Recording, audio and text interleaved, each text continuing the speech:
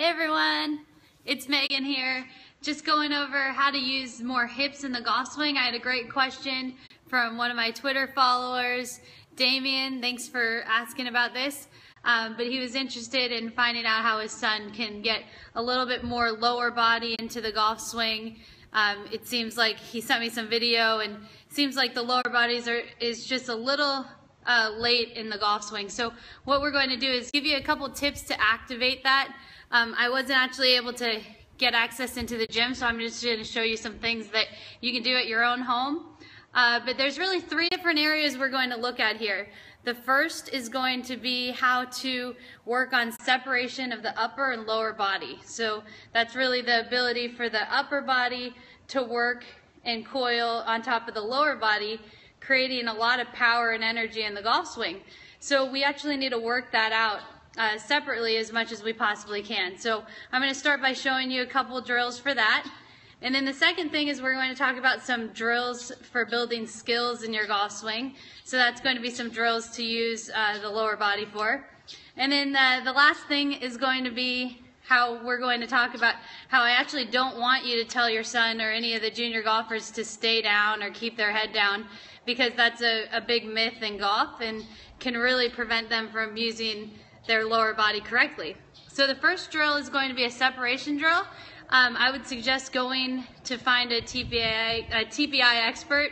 Um, I'm certified in TPI, but you can actually uh, go on their website and they have a, a, great resource of drills on there. So definitely look up Titleist Performance Institute, and that's where I got these drills. So the first thing is going to be a, a stork turn. So it's a really easy drill. I hope the camera's okay here. I might need to make an adjustment, but okay, so for the stork turn, you can just stand there and, and maybe hold a golf club, but basically you want to try to separate the lower from the upper body. So you want to try to be pretty still here and try to just move your lower body separately. So that's a drill that you can have uh, your son Calum doing when he's at home. And uh, Damien, feel free if you have any questions, just go ahead and type me any questions. It might be hard for me to see right now, but uh, this is called a stork turn. The next one, this one's going to be really challenging for me to show you here. Um, here we go. All right. This is going to be like called open book, close book. So if you just do the upper body staying here on the ground, then the lower body's turning. Okay, that, that creates a separation. Um, one thing that's really important for golfers to do is, is actually skipping. So skipping creates a separation between the upper and lower body, um, and it definitely will help with separation.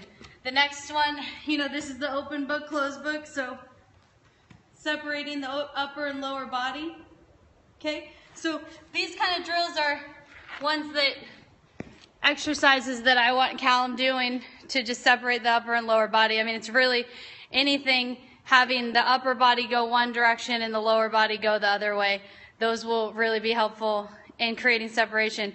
But I suggest that you watch him skip and see if he's able to really separate the coordination of the arms and the legs going at different times. All right, the next are going to be drills that I want you to use to build skills.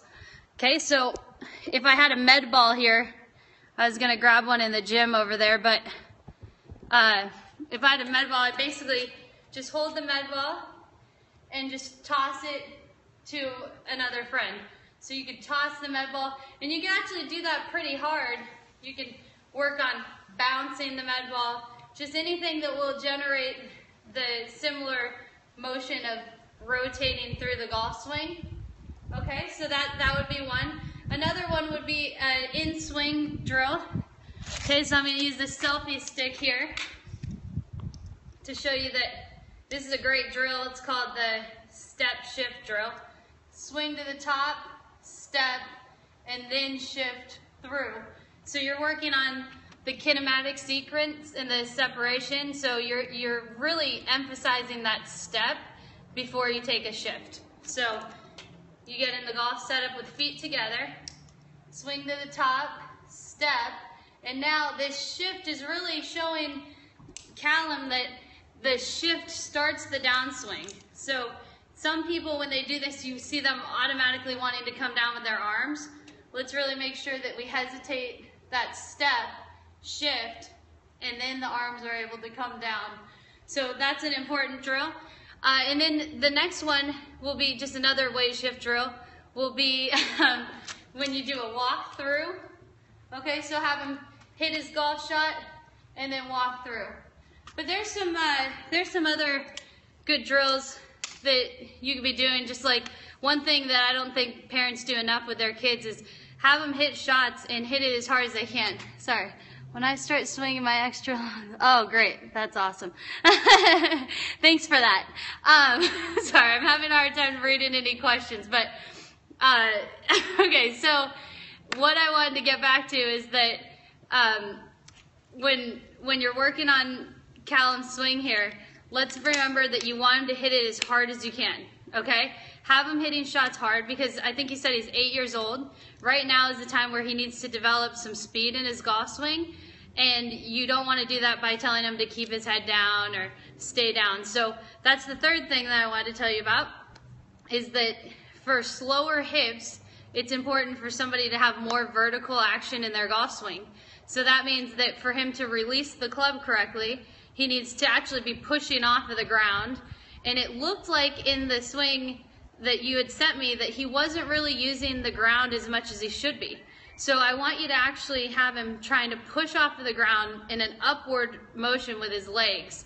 That's going to create energy going up through his body, back down through the club and into the shaft of the club. And then he'll be hitting with more force, able to release down. So I'll, I'll get more in detail on that with you uh, through Twitter. But those are the three things. First, I want him doing some exercises where he's just kind of working separation of the upper and lower body. Second, I want him doing some drills with or without a golf ball. Some could just be with a med ball, uh, separating the upper and lower body, working on turn. This is a good one just at the gym, just turning, just turning the upper body without the lower body. And then one where he's just turning the lower body without the upper body. I think that would be interesting to see him do that one to see if he can separate uh, differential between the upper and lower body. And then the third thing is, is don't try to get him to stay down. Try to get him to hit shots that make him feel like he's hitting it so hard that he goes up on his toes. Uh, don't worry about the whole keep your head down or staying down or if he's coming off. Let him learn right now what needs to happen to get that force. So you can actually look on YouTube there's a really good video, uh, Lexi Thompson, the kinematic sequence, and it will show how to use the ground and the force from the ground up and how that generates back down through the club. So, Damien, if you have any questions, you can ask me right now, but uh, hopefully that helps, and uh, I'll definitely keep in touch. But thanks for watching.